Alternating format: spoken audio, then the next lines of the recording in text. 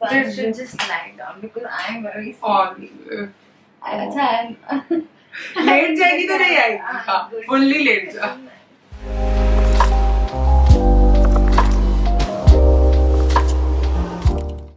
Sarah and welcome to my channel. If this is the first time you've come on my channel, then hi, I make beauty and lifestyle content here on YouTube. And if you enjoy that sort of content, then I think you will love your time here. So please take a moment and hit the subscribe button down below and join the Sarah squad. And also don't forget to hit the bell icon right next to it so that every time I upload a video, which is Tuesday, Thursday, and Sunday, you get notified. Also, if you want to get to know me better, get a little sneak peek into my personal life and a little behind the scenes, then you can follow me on Instagram as well. My handle is Sarah Sarosh with an extra H after Sarosh. And with that, let's dive into today's video. Today, I'm taking on the trend and hopping on the boat and joining the Honest YouTuber tag. So I've been seeing these kind of videos doing its rounds on the Indian uh, YouTube community. And I think this was started in, on the Indian platform by Shweta D itself. That is Shweta Vijay Nair ma'am. So she started this and ever since she did her video, everybody has been hopping on board and like sharing a lot from the YouTube community.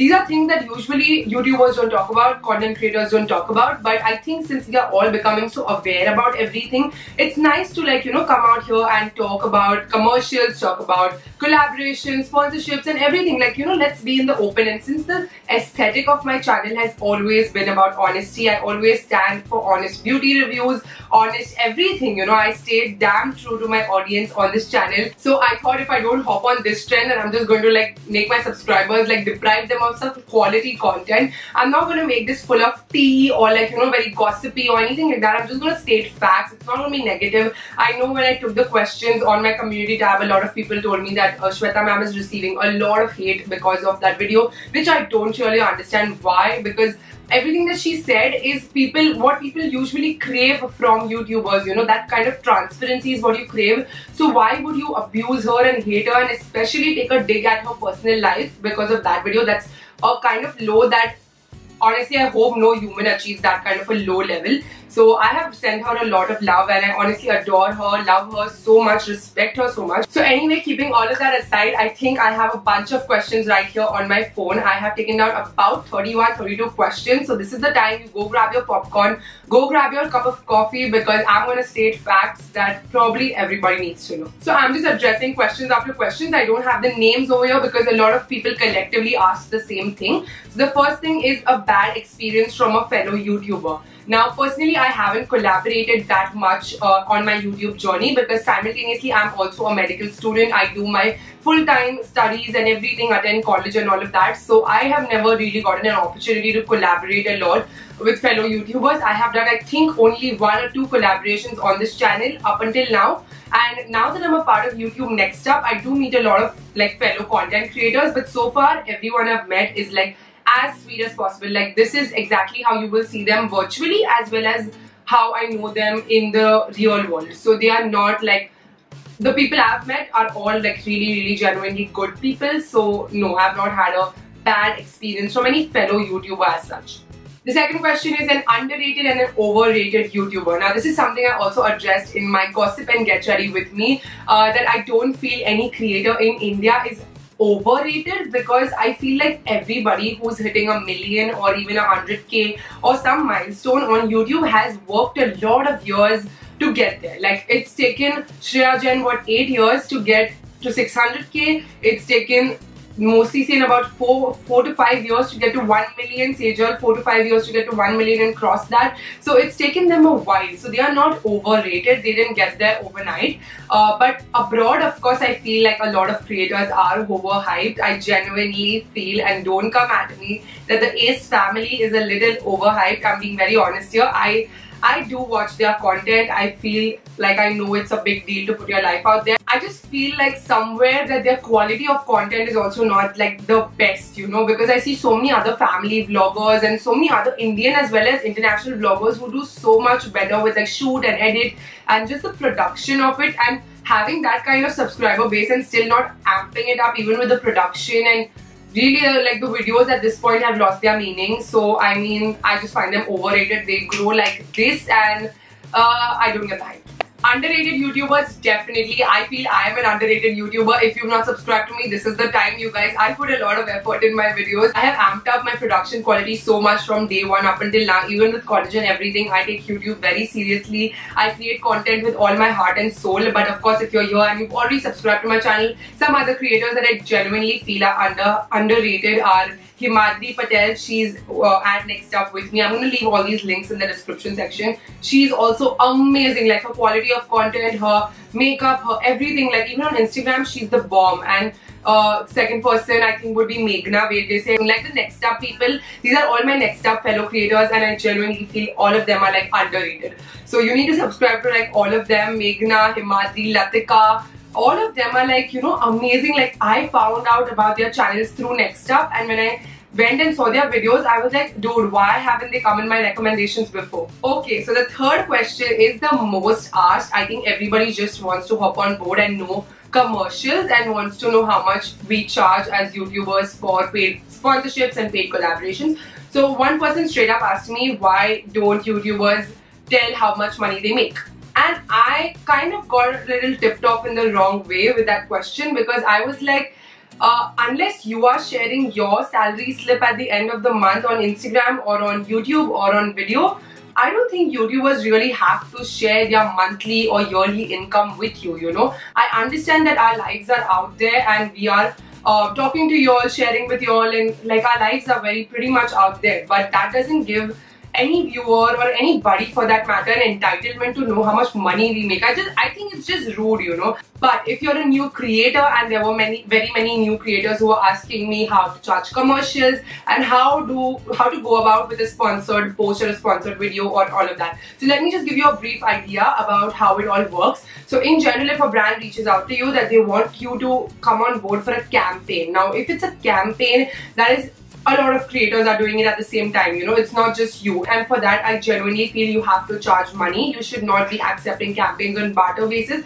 I have made that mistake in the past and that's why any creator watching me who's new I would tell you that don't make that mistake as me. I have learned it the hard way that if you're good at something if you're working hard towards something take money charge for what you're good at you know nothing for free nothing absolutely should be done for free. So now how do you go about with the whole charging process? You usually have like a media kit and a rate card. A media kit is basically where you put in all your analytics all how your how your channel is doing your engagement how your instagram is doing basically your social media and how much you're going to benefit to the brand because at the end of the day it's like a two-way deal. So you need to tell the brand what you possess like number wise and give them all the demographics what kind of audience you have what kind of collaborations you've done in the past. All of that is in your media kit. And your rate card is a separate uh, draft which will include all your commercials. So how do you go about charging for that? Mostly there is no specific rule of thumb that is followed in the indian influencer market at the point.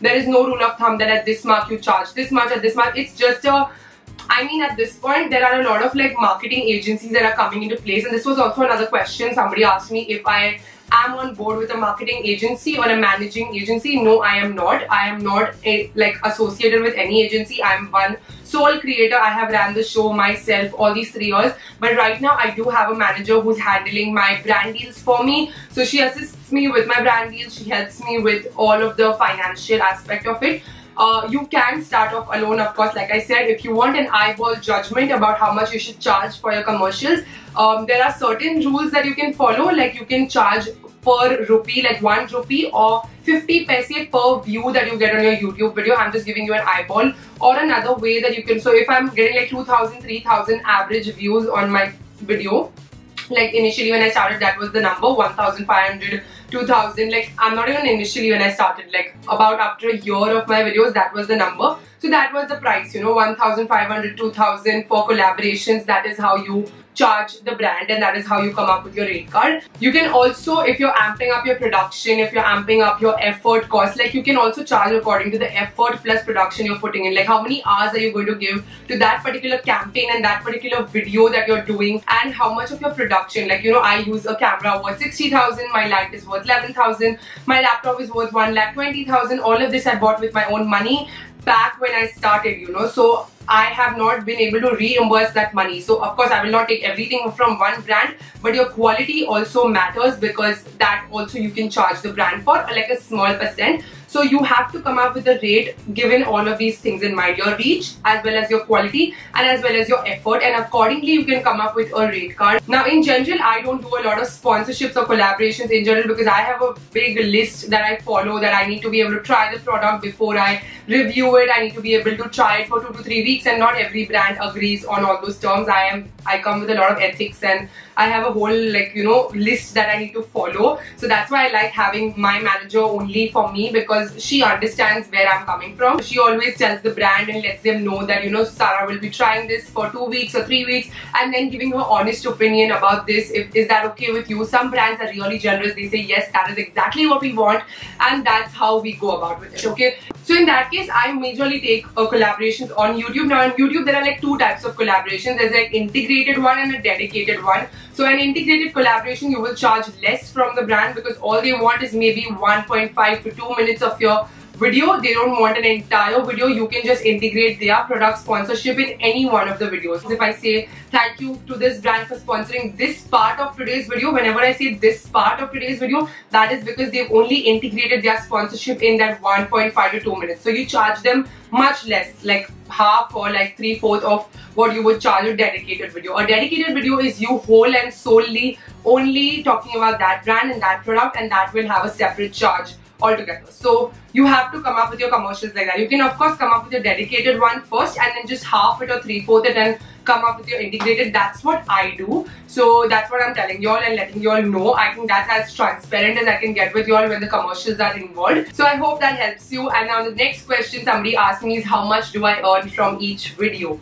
Now, once again, each video is not sponsored. Every single video on my channel is not sponsored. I do maybe one or two sponsorships maximum at in one month. Nothing more than that because honestly, with sponsorships, it's a lot of deadlines to meet. It's a lot of brands to cope up with. It's a lot of work, you know. People who are doing a lot of sponsorships you shouldn't hate them you should respect them because it's so many deadlines to meet at the same time that I mean how do you keep up you know? So for me with college it's not easy for me to keep up with every single brand. So I do maximum one or two and in that case I am not earning of course from each video sponsorship wise but if I give you an eyeball idea about how much AdSense revenue generates which is very less you guys you all you all think AdSense gives me a lot of money or just YouTubers a lot of money it's chindi matlab mera ek 20 ka foundation bhi nahi aayega utne how many times I've told you that? Okay, I'll give you an eyeball judgment. The most famous hyped video on my channel right now is the one I made about I'm not shopping on Nykaa anymore and that is my experience with uh, working with Nykaa TV. That video blew up and that video has a lot of like views and everything. Uh, whoever must have clicked or skipped ads. If you skip ads, we don't get any revenue. If you watch the ad completely, we get some percentage of it. And if you uh, click on the ad and go to that website, we get some percentage of it. So it works like that from that video having like I think it's crossed over 200k views if I'm not wrong it's close to that and overall I have generated about 2500 to 3000 rupees from that video that's about it I'm giving you an uh, like literal numbers I think it's 3000 if I'm not wrong from 200k views it is 3000 rupees and this is not the views I get on a daily basis. Daily basis क्या monthly भी मेरे 200k views नहीं होते हैं. Like if you add up all my videos and all the views on all my videos also, it will not be that much money. So just imagine, you know, AdSense revenue can't do it. Okay, the next question I have is by Rashmi and she framed her question so beautifully that I really wanted to like take a minute and address her and her question and that says please enlighten us upon as to what do you guys mean by sponsored but views being independent? This is said a lot. How do we trust this? Because if because if it is sponsored where is the line where you inform us about a certain product and where you are just trying to influence us into buying it? So this is a very well framed question. That she means that uh, we and I often say this that this video is sponsored by so and so company but all of my thoughts and opinions are my own. If I say this and how do you know that I am genuinely honest or I'm just here to like you know make you buy it? Uh, so there are like two types of campaigns like I already said. If that brand only wants to work with me my video and wants to integrate their product into one of my videos or wants me to do a dedicated video with them which is the kind of sponsorships I have only worked on then that kind of sponsorship is my one-on-one with the brand you know. So it's not a mass campaign it does not involve many very many people.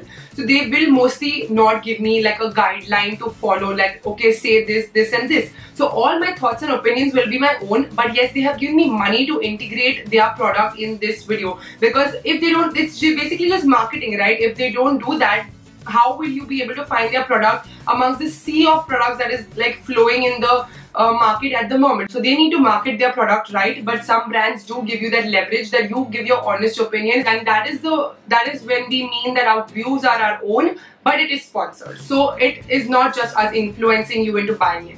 But now when it comes to mass campaigns which happen on a wider level, like you will see every single YouTuber uploading the same video at that particular time. सारे ही videos एक साथ जाएंगे सबके channel पे, you know, सब एक ही जैसे videos upload कर रहे हैं. That is when you know that this is a mass campaign and nothing wrong with that. But you should know that this is something that has been properly given by the brand. Now, I don't think every brand does that, but mostly they do give you like a list of guidelines to follow that these, these, these features about the product you have to mention in the video. So then that becomes like, you know, that is like more of a influencing thing and not a sponsorship but views are our own thing. You can of course integrate your own views in between wherever like give your own personal touch but you also have to make sure that you mention everything by the brand because you have to keep both parties happy the brand as well as your audience. And i don't think there is anything wrong with either ways. You can uh, you should respect influencers who are doing both type of campaigns because i like i said you know a lot of brand deals take a lot of effort. Like to crack every single brand deal is difficult. To be able to impress every single brand and your audience at the same time is difficult.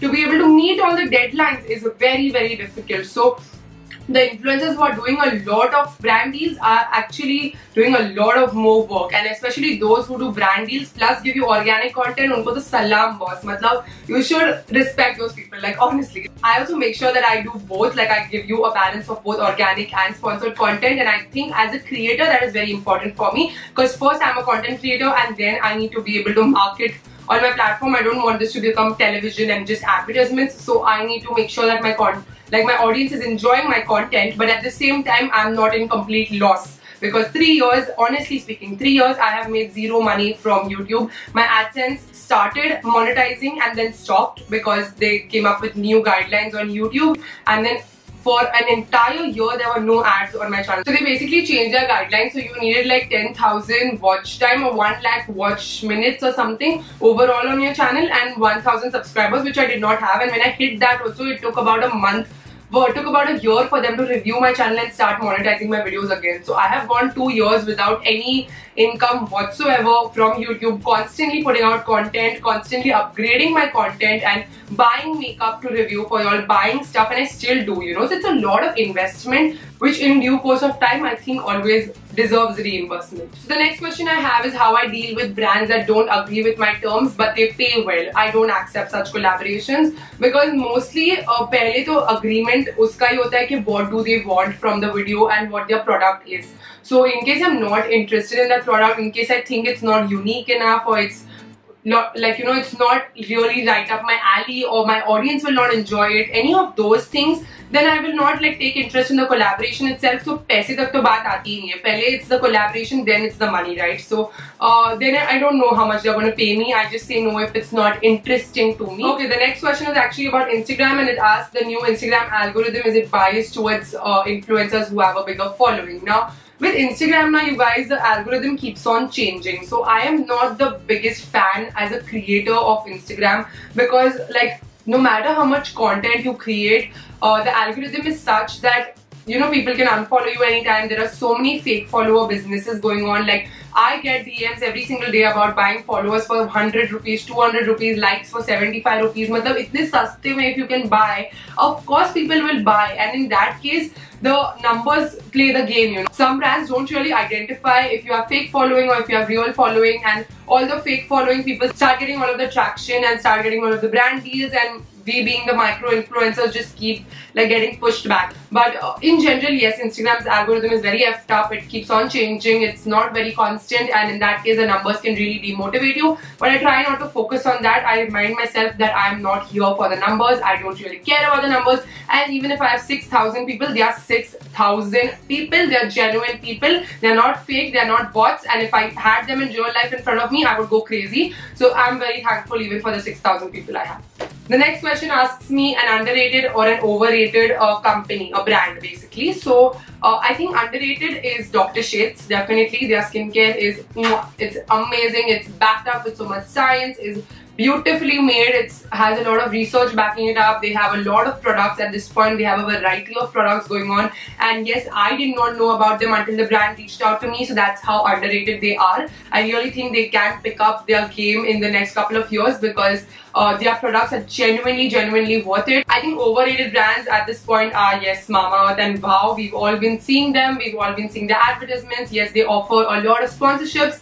So they are a little overrated. I have tried Wow very many years back. Like I had their shampoo. I don't remember if I liked it or no because I was very young at that time and I didn't care much about the things I used on my hair. My sister got it and I just used it. So I don't remember much. But Mamaearth I recently tried and reviewed for you guys. And I mean their products are not the worst. It's not the worst skincare company. I would say there is like definitely worse brands I've tried but it's also not the best company so it's a little overrated. The next question is about the minimalist brand controversy and what do I think about it. So Be Minimalist is a brand that came up with their skincare range I think last week or something and uh, they came up with their packaging and they revealed everything and everything looks awful lot similar to The Ordinary. Now The Ordinary is in the game since I think a long long time since before I became a creator so it's been there for a while. Their products are genuinely very good. I do have their Ordinary peeling solution and at this point I have also placed an order for the uh, for the minimalist peeling solution because I want to compare them side by side and see if the minimalist is anything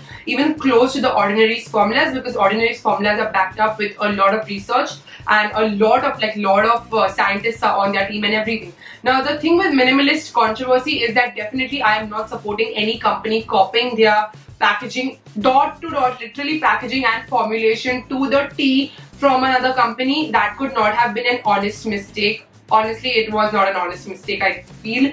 But they went on record they went on their Instagram and they actually made a post and they explained what happened with the COVID and the pandemic and their business and how they rushed up with the packaging and just launched anything and they took accountability for it. And they also say that they will be making changes in the future. So I am holding on to their word. And any brand that takes accountability has my respect. So I don't really want to speak much about the controversy. I will try out the product for myself and tell you all what I feel about the product. But apart from that I don't think uh, there is anything to, you know, create controversy about the brand as of now since they've taken accountability. Next question is, have I ever lied to get noticed by a brand? No, not really. Why would I lie to get noticed by a brand? Like, if I lie, will the brand notice me? No, I'm saying the truth also and the brand is not noticing me. मैं झूठ बोलूंगी तो भी they will not notice me. Alright, the next question is how I deal with negativity on the platform and hate coming to me. So, uh, genuinely, my audience is very, like, very, very sweet and honestly the best audience ever. I really love my Sarah squad a lot with all my heart.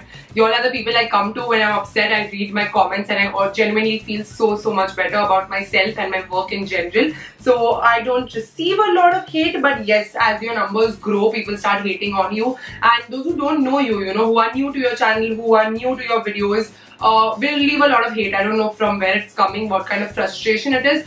But uh, in that case I just keep like either it's like very bad if it's abuse in general I will report spam and block that person from my channel or if it's like just a misunderstanding or an unsolicited advice or opinion, I do give my two, two cents and like tell them this is where I'm coming from. So mostly the air clears out if that person doesn't understand my point of view and it gets very ugly in the comments, I will just delete that chain of comments altogether. Another thing that I wanted to mention about the negativity that is going around social media and YouTube at this point, I think is in the skincare community. Uh, like the last video I put up uh, was about my skincare routine and I will be very honest with you all, I was scared to put up that video. I was so scared because I know that a lot of skincare I use might not be the perfect way a cosmetologist or a dermatologist would recommend doing it or it's not the most ideal way although I follow all the steps and I do the double cleanse and I do everything and I know my skincare really well and I'm a skincare enthusiast. I do a lot of research before I put up my videos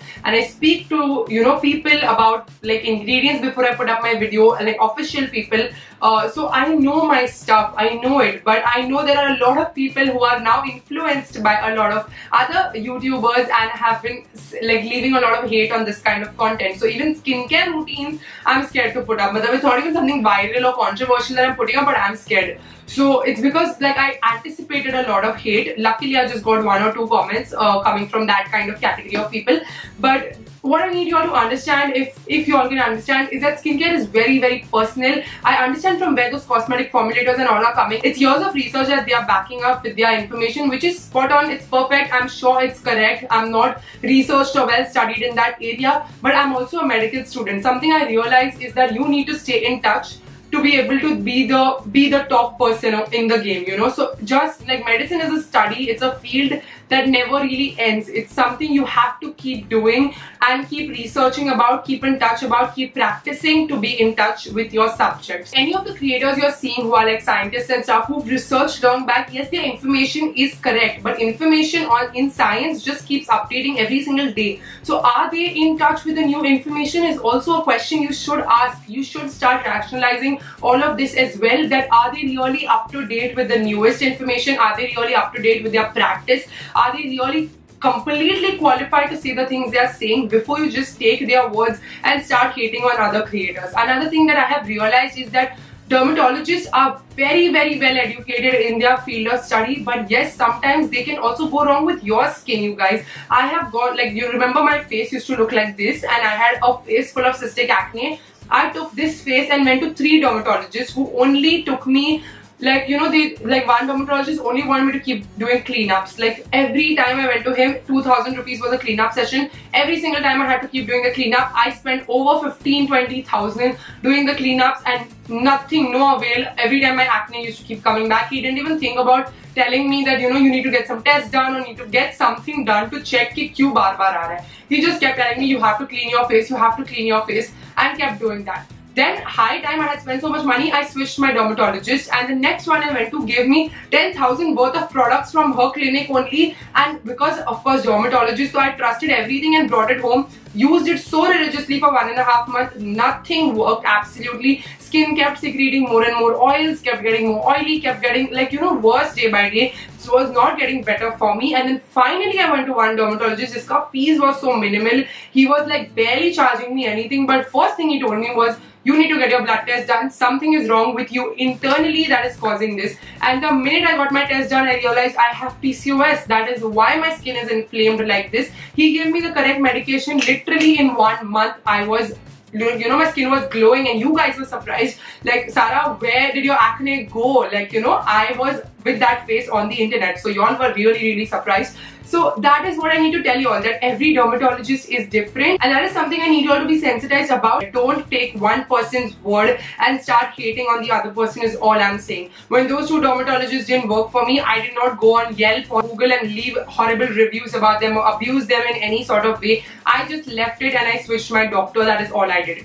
So if you're not liking a content creator, all you gotta do is leave that room and join another room which is, you know, floating your boat Just don't leave hate for no reason is all I need to say. The next question is the type of creators I cannot stand. Oh my god, the type of creators that create that viral content with, you know, uh, ये हाथ में ये लगाया and then दूसरे हाथ में ये लगाया and my hand has become lighter in a matter of 20 days and they just brighten one photo and decrease the brightness on the other and they put up that as thumbnail and those videos still get a lot of views Yes, that's the kind of content I cannot stand and those are the kind of creators I cannot stand. Okay, another question is about any consequences that a barter deal might have. A barter deal I feel is not bad. It's not the worst thing to do. You can do a barter deal but it should come with no, no, um, how do I say this, you know, no rules and regulations from the brand there are like an awful lot of times that the brands just want to send you the products and they're just like Sarah we want this want you to try this for us I'm like great you know send it over. I give them my contact details and they will ship it over. They ask for nothing. They don't ask me review or say this or do this or put these hashtags or use this. Nothing absolutely just honest review. And since mine is a review channel if I love it I will definitely review it for y'all so that is just PR in general. That kind of barter is completely fine. But if they tell you, send over products and be like, yeah, yeah, yeah, karna hai, put this hashtag, say this about the product, the caption should be like this, or the photo should be like this, the video should be like this, you need to insert demos, you need to do this, that, this, that. ये सब के लिए भाई पैसे लगते हैं ऐसी free में काम मत किया करो मतलब इसके लिए you can not accept a better deal it is not done and honestly I feel we are at a point where if every creator start taking a stand that you know barter deals are just wrong. And i'm saying this from a point that i don't come here for money okay? This is not my first job. I don't come here for money but still i'm saying this that the thing is now if people like me who say that i'm not here for money so i will accept barter deals from these companies this companies will think that अगर ये मुझे इतना अच्छा quality का content water में दे रही है then why will they go to creators who are taking money right so those creators का it's full time income they are paying their rent they are eating their food they are running their household with that money so I me doing that is actually robbing somebody else of a job. So i that way it's ethically wrong to do that. So that's why every creator i think should stand in unity and be like no barter deals. So every brand should pay its due for marketing to every influencer. Trust me you guys influencer marketing is so much cheaper for brands as compared to putting advertisements on even instagram promoting your video or photo on instagram takes a lot of money. The question is how much time does it take to grow? Now it took me a while to grow. It took me very long I'm still not completely blossomed into a full-blown sunflower. I'm still like very much in my bud. So it takes time यार बहुत time लगता है बहुत मेहनत लगती है keep putting out a lot of quality content a lot of quantity of content as well use the correct hashtags stay consistent because what that does is it increases your reach you know you though people watching the similar kind of videos will start seeing a lot more of your face and someday they will click on your video and see bhai kaun hai ye matlab so then that is how they'll get engaged with your content. And if they like it they will hit subscribe. So that's how you engage your audience in your content. And it takes a while to grow uh, especially since I used to only upload one video a week. I was not very engaging. I was not very consistent. So it's taken me a while the next question I have is do you think talking in Hindi gets more subscribers? Now this is something I have personally debated upon because for me Hindi doesn't come very naturally. Matlab, when I'm expressing and all now wo aa but uh, it's not like I can flow have uh, like I can't have conversations in flow in Hindi. It's not my thing. I speak in English even at home. My dadi learned English because we used to only speak in English at home. So it's like that's how I'm brought up. So it doesn't come naturally to me, but I do see that a lot of um, Hindi speaking YouTubers do get a lot of subscribers much quicker than the ones who speak in English in India because I realize that North Indian community speaks a lot in Hindi at home. So it is something they familiarize themselves with better. But what I've realized is even if I do one or two videos in Hindi on my channel, my subscribers don't like it. They comment down below saying, please speak in English so we understand. So I have realized over the years that my subscriber base is more South Indian. So they are more English speaking. So that kind of has been my community now and I'm more comfortable even I'm South Indian from some heritage so I'm also more comfortable in English so yeah even if that is true on some level in India I don't think I will resort to speaking I do like to do one or two videos maybe you know in couple of months to do in Hindi so I can um, engage with a wider audience. I think overall as a creator, I'm happy with my English and yeah, that's what I'm to stick to. The next question I have, I think I'm to, like that's to be the second last question because it's been a long video, is did Nykaa ever clear the air? Now, I went on record to make a video about why I will not be working or shopping from Nykaa anymore and that is because of my experience that I had working with Nykaa TV and it was not a very pleasant experience. That was probably my only brand experience which was sour and like bad uh, because I've never really had a bad experience working with any brand. Anyway, the brands I work with are super super sweet and sometimes so adorable that I feel like I wish they had more products I could work for, you know, with them. So uh, yeah, no, they did not come forward and clear the air. I don't think they ever will. And uh, yeah, that's that's that. They did. And I think the last question I'm going to take for today is have I ever promoted a product I did not like? No, absolutely not. I have said this time and time again that since I'm not here for money, that doesn't mean I will not do things for free, but I will also not do things uh, or deals with brands or products that I do not genuinely like. If they give me the time to try it out or if I have already tried it in the past and I know that I like this, why not? I would love to be sponsored for products that I like and I anyway share with you all. And so yeah, those if those brands want to work with me, I would have a pleasure working with them. But never, never done one for products I don't like or don't use in my regular life. And with that, we complete this very super, super honest YouTuber tag. I had a lot of fun, honestly. Like, I would love to do like a part two. I would love to do this sometime later. Maybe we should do this like once a year to just update you all about what is going on. But yeah, I hope you all enjoyed. I kept it very positive, very factual. Like, all of these are real facts, and I hope it helped you all as well. If you all were new creators, you all got a lot of insight. Even if you all are consumers and viewers, you all got insight into how things work behind the scenes. So if you all like this video, please don't don't forget to hit the like button. Also leave a comment down below letting me know which other videos you all want to do because you guys are running out of content ideas. Also don't forget to share my channel with your other friends and family so we can make the Sarah squad even larger. Come on you guys, 50k. There's a giveaway coming at 50k. Who wants a giveaway? Never done one but I'm so excited to do one. So come on, let's get to 50k shall we? For today's video, the Sarah squad shout out goes to Adishri Deore. Thank you so much for watching and supporting my channel. If you want to be a part of next video Sarah Squad shoutout, then all you have to do is hit the subscribe button, the bell icon right next to it, and also leave a comment down below saying hashtag Sarah Squad, and you'll get a chance to be a part of my next video, Sarah Squad shoutout. I will see you guys very soon in another video. Bye guys, stay home, stay safe, and take care. Love you.